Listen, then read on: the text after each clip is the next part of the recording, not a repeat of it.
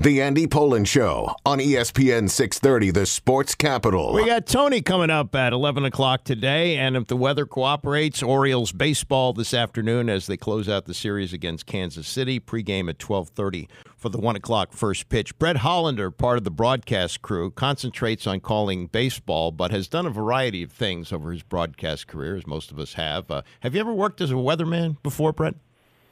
Oh, I pretend to, Andy. I pretend to work as a weatherman. When I was at WBAL, uh, radio and television, uh, I, I used to get really in, especially if you're doing uh, the sports cast on the local news on television. You, you know, sports comes on right after the weather, mm-hmm. and I became very close with a lot of these great longtime meteorologists in Baltimore. And I once got a uh, certificate that said I was a junior meteorologist because I'd always pipe in about the weather. So I only pretend to actually be a meteorologist, but uh, I I, I do I do spend some time. I think you have to in baseball looking at radars and futurecasts. Yeah, it's funny. Two of my good friends are, are Steve Buckhantz and Sue Palka. Worked a long time together at Channel Five here. Sue did the weather, Buck did the sports, and uh, Buck would follow Sue. And you probably experienced this as well. That the the words that he cringed hearing in his ear from the producer was, "Sue went long. You'll have to cut a few things." So there's kind of this love hate relationship between the sports guy and the, and the weather person, right? No question about it. And this is a true story. My first professional job in broadcasting was doing traffic reports. So I would do my actual very first day in professional broadcasting was doing beach traffic for an, a station on the eastern shore of Maryland. And uh, that day, I will tell you, I, I made it up. I just said that the Bay Bridge was backed up. I assumed it to be true. It probably was, and I let it rip. Okay, so let me lean on your uh, weather expertise here. What's what's the chances this game gets in today? I know they want to play, Andy, just because this is Kansas City's only trip in. People don't want to start looking at makeup days later in the year and mutual off days. Baseball these days, we grew up in an era where if you missed a game or two, if the game did not matter, if it wasn't consequential, everyone was okay about not getting in. Those days have passed. They want to play 162 uh, for a lot of reasons. So I think you look down the road and you start thinking about August and September mutual off days, and you still a lot of days to make up here in the sense that you know there could be future potential rainouts. Uh, so you rather not have to go down that road this early in the season. But this is a getaway day. Uh, both teams planning on leaving. The Orioles have an off day tomorrow, scheduled in Pittsburgh, but Kansas City does have a game tomorrow in Chicago against the White Sox. So there's no possibility of tomorrow being that makeup day. You'd have to look down the road. So I think they want to get in, but it looks uh, bleak right now. Okay, and then there'd be some delays because of thunderstorms. So yeah, maybe by ten o'clock tonight they can get it finished, and that's kind of the way yeah, they right, do. Yeah, yeah I've, I've, been there, been there, done that. Cover those kind of games. You hate them, but that's uh, that goes with the territory. All right, uh, let's talk about the team. And uh, last week uh, we are talking about the Oriole way. We had Mike Elias on, and uh, and he grew up in Alexandria. He remembers the days of the Oriole way. I, I don't know if, if, if you do. I know that you're a native of Baltimore and your family's there, so you've probably heard stories about it. But what seems to be building here is is what happened with this organization from the late '60s into the early '80s. And given the way modern sports works, it it shouldn't be happening. But you know they just keep getting these draft picks who are producing. Colton Cowser, a fir- former first round pick, has moved up off to a great start. Uh, you know Rutschman and and the others that, that have come through the minors. This is this is really really nostalgic for people like me watching how this team is being built. How about you? Yeah, and I am someone who uh, grew up here hearing about the Oriole way all the time, and it's a way you kind of operate philosophically as a franchise, but it's also a way you teach up and down the minor leagues, and there's a certain way to do things from cutoff plays to bunt plays uh, to how you go about your business, and that's very much what's been uh, installed here by Mike Elias and his team, both looking uh, at the scouting side and also player development. They right now have the secret sauce. There's no getting around it. When you just look at the success rate and hit rate of young players, uh, having lived through many years of Orioles baseball, where a lot of highly touted prospects would get to the show and fail, we're in the complete opposite world right now, where prospects get here and actually achieve success. Not all of them, and it doesn't always happen instantaneously, but for the most part, players are going through the minor league system, getting to Baltimore, and then succeeding, which is uh, really what you have to do to keep uh, driving forward in the big leagues right now. Yeah, and and you know you, you you look at prospects, and sometimes even if they get off to good starts, they hit a bump, something happens, and uh, and they tail off. What we've seen is a great trajectory from these highly touted players, Gunnar Henderson and Adley Rutschman. Uh, they've been patient with them, and you know, last year at this time, uh, Henderson was struggling. Now he's playing really well. Uh, Rutschman got off to a little slow start. He's gone, so they they've been patient with these guys, and I think that's made a big difference for them as well. How about you? Well, they certainly have the right sense of when to call players up, and I know fans are frustrated that Jackson Holliday isn't here right now, mm-hmm. and he hit another home run last night. And I understand that but there are a lot of factors that go into all of these decisions. And how do you question right now what Mike Elias and his team have done when they called Rutschman up, when they called Henderson up, when they called Grayson up and then sent him back down, and then he came back and he was everything fans were hoping for in the second half last year. Same with Colton Cowser. They called up Colton. Fans wanted him. He got to the big leagues last year and struggled, struggled mightily. Now he looks like he's ready to go, and that's not unusual. But it's there's no guarantee with any prospect. We just had the yeah. Angels here, and that team is just full of first round picks, and and so many of them have disappointed. And the Angels historically raced these guys to the major leagues. Uh, Jo Adell was a can't miss top five, six, seven prospect in baseball for several years. He's basically a bench player right now in his fourth or fifth uh, season in the big leagues, getting a chance and they they rush all these guys up, and it hasn't worked out for them at all. So I think you want to err on the side of patience, and we know Jackson Holliday will be here at some point sooner rather than later. And for whatever reason, and it was laid out pretty succinctly by Mike Elias, uh, he believes that Jackson Holliday uh, needs to start right now in the minor leagues. Yeah, uh, and, and I I think that makes sense too. Um, you know, Mike said last week that best case scenario, he plays his way into the majors. I thought maybe best case scenario is everybody stays healthy and they don't need to bring him up and he gets another season uh, of minor league seasoning. But uh, I think that's going to be something to keep an eye on. And, and injuries are inevitable, they're going to happen. And uh, we'll see him, once he gets his chance to come to the major leagues how long he sticks. We're talking to Brett Hollander on Orioles Preview, part of the broadcast team. The, the pitching, and we got a, a, fairly good performance last night out of Cole Irvin. Uh, he said he didn't mind pitching in the cold because he's from um, from from Oregon and has worked uh, worked in weather like that before. But uh, a lot is riding on who is supposed to start today, Corbin Burnes, And I just wonder. I know his start on opening day was fabulous, but what you think he means to what is really a young pitching staff around him? Well, to have one of the few true aces in the game is a game changer because you can give the guy the ball every fifth day and you pretty much know what you're going to get, which is a chance to win. And he's someone, he went six innings his last time. They could have stretched him out further, being prudent early in the season. They had a lead. And uh, now I think you're getting to a point in the next few starts where they can turn him loose. If they need him to go seven, if he's being efficient with his pitch count, he can go seven. Uh, but he is just a Cy Young candidate, and the Orioles haven't had one of those in a very long time. And they may have guys who uh, eventually will be in that class, whether it's Kyle Bradish or whether it's Grayson Rodriguez or Dean Kremer or whomever. But Corbin Burnes is one of those very special true aces. It wouldn't surprise me in the least if he's starting the All Star game for the American League. It wouldn't surprise me in the least if he's top during the Cy Young Award voting. He is a free agent at season's end, and some fans are worried about whether he's staying or can they sign him? Can they extend him? To me, I look at it completely different. This is a guy who has so much on the line this year. He's so motivated.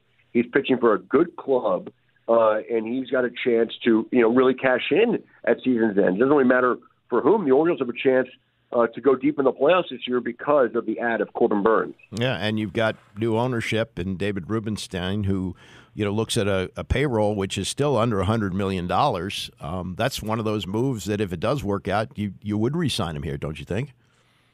I think you definitely take a look at it. I'm not sure philosophically if Mike Elias uh, would go there with a starting pitcher. Mm-hmm. I think we looked at this last year free agency and and Corbin Burnes, I believe, is in a class uh, certainly better than Jordan Montgomery. And that's not you know knock on Montgomery, but I don't think he's you know one of the you know aces of the game.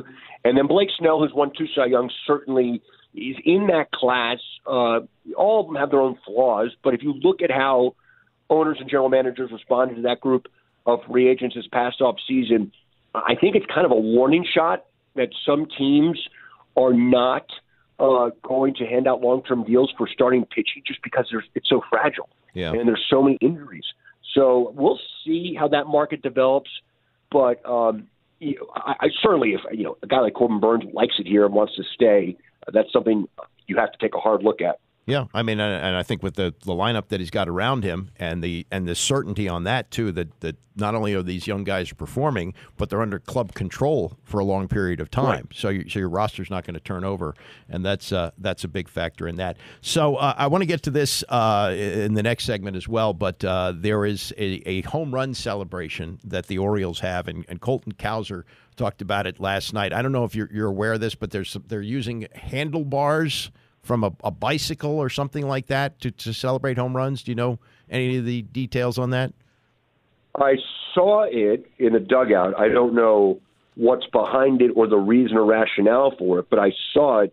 Uh, Mountcastle, after he hit his home run a few nights ago, uh, I saw him take handlebars and and do it, but I have no idea what it's about. Yeah, it's something with a video game, and I'm and I'm the oldest guy in the world, so it's too it's beyond me but even my I can't even remember my kids doing it, but it relates to some video game, so that's uh, that's part of the reason for that. Um, last thing, um, the state of Maryland is kicking. Was it six hundred million dollars in in renovations for um, yep. Camden Yards? Okay, has any of that started? Is that is have you begun to see any signs of that yet? No, nothing that I can see uh, yet, but that stuff's going to come. I think all the plans are in the works, and uh, they've probably been in the works for some time and you'll start to see uh, that money. Uh, I mean, there was a big transition here with new ownership and and uh, new leadership in that regard, as far as the controlling uh, person of the ownership is concerned. But I imagine as time goes on, particularly next off season, you will see some of that uh, kind of come into play. I, I got to tell you, I mean, that's one of the great ballparks in, in, in America. I don't know what do you know any of the details of how they're going to spend all that money because it looks pretty good now. I think the bones are great. The aesthetics are great. It's you know to me it's you know something I just love beyond belief. I've been coming here since I was seven or eight years old. But uh, I think there are things you could look at uh, that could probably use an update, whether it's video board, sound system. Mm-hmm. Uh, I'm sure there's other spaces they'd like to utilize and and update and to modernize the ballpark. Uh, there's probably a, some things even behind the scenes. Uh, you know, I'm sure there are things here that haven't really been updated or changed since 1992. I mean, there have been updates before, but to use to, to really have a, a, a big, big update uh, to, kind of bring it into uh, what would be 2025, 26, and beyond, uh, probably uh, needs to happen. But as far as the look and the beauty of it mm-hmm. and the layout, I don't think you'll see much change as far as the uh, how we look at Oriole Park at Camden Yards. Yeah, and we know that six hundred million doesn't go as far as it used to, so you go through, go, go, through that cash pretty quick. Good talking to you, Brett. Good luck in uh, getting the game in today. I'll talk to you soon. Thank you, Eddie. I appreciate it. That's uh, Brett Hollander, part of the uh, Orioles uh, broadcast crew, both on uh, television and radio, as they are due to close out the series uh, this afternoon against the Kansas City Royals. The uh, Orioles off to a, a pretty decent start. they lost last night, scored only one run. They got 20, was it 24 runs in the first two games, but they're off to a three and two start, and they got their ace on the mound this afternoon. We'll talk more about what happened last night and what's ahead as we continue. It's Orioles preview on ESPN 630. Uh, we're doing Orioles preview, which we do every Wednesday at 10:30. Just talked to Brett Holland, Hollander, one of the voices of the Orioles, as the O's hope to get in their game this afternoon against the Royals. They lost last night, and uh, unlike the first couple of games of the season, they didn't produce at the plate. Uh, they lost 4-1 to the Royals, and uh, Cole Irvin, starting pitcher, he went five, gave up seven hits four runs, all of them earned, couple of bases on balls, and three strikeouts. And he was pitching like through a steady drizzle and temperatures hovering around 47, 48 degrees. Uh, he said that was not the issue in the loss. I spent four years at Oregon. That's nothing. So, um, you know, not not the conditions you want, right? But I mean, they're the conditions that were the setting for the game. So you just got to deal with them, put your best foot forward, and do your best to keep the team in it stuff? Stuff was really good. Um, that that second inning there, um, just kind of got away from doing things aggressively um, and stayed away from my changeup for whatever reason. And that's just me that I need to shake to it and get to it. And, um, you know, that that's just, um, you know, the tail of the game. You know, when I was throwing my changeup, I was really good. So, um, with everything else, uh, the mix was, was there. Um, got a lot more swings and misses on some spin that I'm not typically used to, so that's a good sign. So uh, a lot of good things going up, and excited to have more pitches this next time. yeah, I'd like to get some more runs too. The Orioles had only three hits on the night. They had six strikeouts, and Brandon Hyde uh, not particularly pleased with what he saw from the dugout. Yeah, tonight wasn't our best night for me approach wise. I thought uh, we had a lot of early in the count outs. We did a few ball, balls hard um, on the nose early in the count. O'Hearn did left homer in a lot of places. Uh, you know, gun lined out, alley there at the end. But um, you know, we just uh, I thought we didn't really make Marsh work. I thought give him credit. I thought he threw the ball well. It really kept us off balance and uh, threw a bunch of strikes. But you know, we need to be kind of a grind out, next guy up uh, type of team. And tonight for me, we just we had a lot of soft outs early in the count positive sign after Irvin exited after five. Uh, the bullpen, three bullpen pitchers, gave up only one hit. And uh, if you've been watching the Nationals lately, uh, that would be wonderful if they could have a performance like that for Hyde. Uh, very satisfying. Whether you saw it out of the pen. I thought our bullpen threw the ball great. Um, you know, we thought Webby threw the ball really well, and uh, Heasley there last couple innings did a nice job. It was nice just being able to go inning apiece, two innings with Heasley there, and not have to try to mix and match and and uh, burn a bunch of guys for tomorrow. So tomorrow, now today, scheduled for one o'clock, weather permitting. Corbin Burnes, who was terrific on opening day, gets the start. Uh, he's uh, got an ERA of 1.50 and got the uh, opening victory of the year. Now, uh, I talked to Brett Hollander about this a few minutes ago. The celebration for home runs. Teams change them up from year to year. You know, remember the the Nationals would dance in the dugout after they got home runs and uh, the, the, the baby shark stuff and all that. Well, they the Orioles have come up with a home run celebration, but I may be too old to understand this. This is Colton Cowser, who's uh, up from the minors, having a good start for them, and their star Adley Rutschman on uh, how they celebrate homers. Irvin got us some uh, bicycle handlebars. Uh, I guess uh, just the explanation is we're on X Games mode. Um, so I think you know revving up the engines and then the, the handlebars. But like I said, I was just I was I was told that I was on duty for that. Um, so I ran and got him. I don't know if there's a clip of me. You see the home run in the dugout. I'm celebrating. I'm like, oh, I gotta go grab him. Um, so we'll see if it sticks. I don't know. I know that throughout the season or the beginning of the season, we're trying to figure out uh, what uh, what's gonna stick for us. Does it surprise you at all that he was the one to go get the hose last year and now he's found another insane prop to bring in? No, um, not really. I wasn't I wasn't here during the, the hose, but I know that, that was a good one. Um, but you know, I don't know where he got them from. I don't know if he it's kind of I don't know if he just had them in his house or. Um, but yeah, uh, it doesn't doesn't surprise me. I mean, um, I think it's good to have a have a clubhouse that uh, is kind of bought in on what our celebrations are going to be. When did you first start hearing X Games mode talk? Was it spring training or? No, it was kind of yesterday. um, but I know that he, uh, I know Irvin is, uh, he, he likes those motorsports, things like that. Um, I know a couple guys in the locker room do. Um, so I like it. Um, we'll, we'll see if it sticks.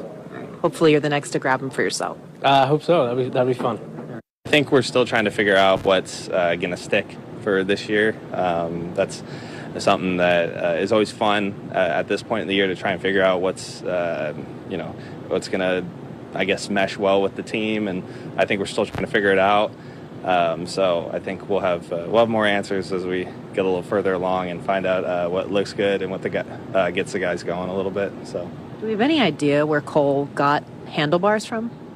Um, I think it's like like last year is kind of I guess like people like the idea of like opening the floodgates and um, you know, like rev up the offense or I don't know what it is. It, I think it's more just about like something that looks good and gets the guys going, and then we'll figure out afterwards what it ties into that we can, I guess, say that it's all a part of. Well, they've uh, what through five games they've got six homers. Anthony Santander leads them with two. Uh, Mountcastle's got one. Henderson's got one. Rutschman does not have a homer. Neither does uh, Colton Cowser, but uh, he's got a couple of doubles. So, uh, you know, these these things uh, sometimes they stick, sometimes they don't. And and and asking him where he got the handlebars, what he went to the handlebar store. He got a handlebars. So that's how they celebrate home runs. The Orioles uh, due to play today at one. Tomorrow is is supposed to be an off day be in Pittsburgh. Then they open the season for the Pirates, their home opener. That's going to be on four at four o'clock on Friday afternoon. They play there through Sunday, and then they go for three games at Boston. And uh, you know the big thing from last year was that they set a record by was it 84 consecutive series without being swept and they were finally they were swept in the in the playoff against the Texas Rangers.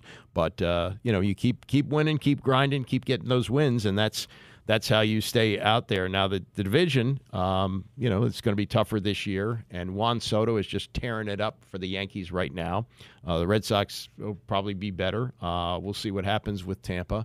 But uh, the Orioles to get off to a three and two starts, not uh, not terrible, and uh, you're starting to see production from the Stars. Uh, the interesting that, that Gunnar Henderson, um, who you know Cal Ripken and others said, stop shifting him back and forth from third to short. Well, that's what they're doing. They're shifting them back from third and short. You've had uh, Joey Meneses, uh, Joey Mateo, excuse me, uh, start two games at short, and Henderson has started uh, three of them at short, playing there last night. But seems like sooner or later they'll have to find uh, find the spot for him. And as Ripken said, it's best to be placed shortstop. Uh, Adley Rutschman uh, plays almost every day, catches a lot of games, but but is the DH, and he's off to a good start, hitting 278. So uh, here they go against the Royals today. We'll see if we get it in. It's a 12:30 start with the pregame here on ESPN 6:30 and first pitch at one o'clock. Thanks very much to Brett Hollander for joining us on Orioles Preview. Thanks to Rex Minturn for running the show, and thanks to all of you who listened. Tony is coming up next, and I'll see you back here tomorrow morning at 9 a.m.